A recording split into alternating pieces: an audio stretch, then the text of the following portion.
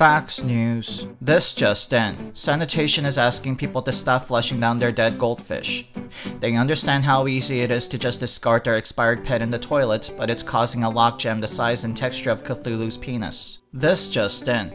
People are upset with sanitation because they believe they're being paid by goldfish casket businesses.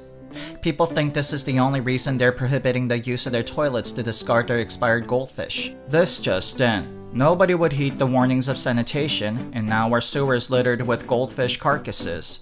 And it started to attract a lot of animals down there who are eating these sad carcasses and dying on the spot from eating too many rancid meat.